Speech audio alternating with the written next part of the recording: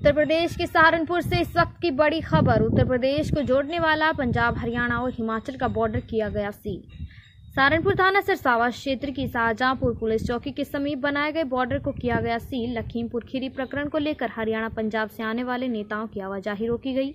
सहारनपुर, हरियाणा के बॉर्डर पर ADG Rajiv Sambharwal DM Akhilesh Singh व एसएसपी डॉक्टर एस चेन्नप्पा भारी पुलिस फोर्स के साथ तैनात हरियाणा और पंजाब से आने वाले किसान नेताओं और विभिन्न पार्टियों के नेताओं को रोका गया। बॉर्डर पर नेताओं के साथ पुलिस की तीखी नोकझोंक। कांग्रेस के वरिष्ठ नेता नवजोत सिंह सिद्धू के काफिले को रोकने के लिए पुलिस ने लगाई ताकत। सहारनपुर के थाना सरसावा क्षेत्र